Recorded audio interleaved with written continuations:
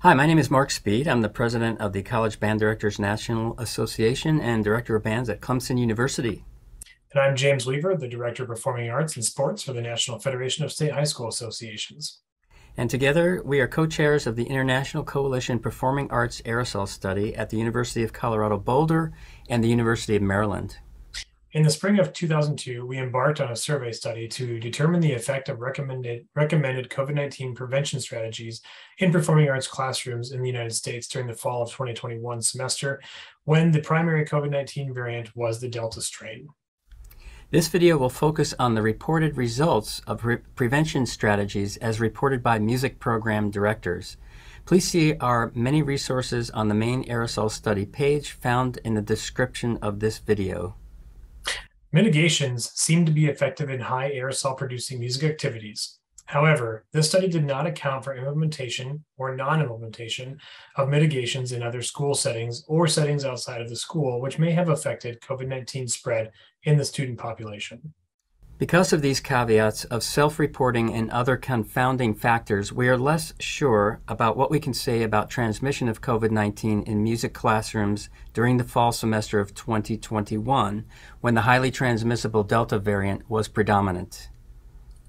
Given this uncertainty, there are still some positive trends that can be observed from the data collected. As you can see on this graphic, music directors that reported using at least one study mitigation were less likely to report COVID 19 transmission among their staff. This shows that using at least one study mitigation helped reduce the likelihood that music teachers reported testing positive for COVID.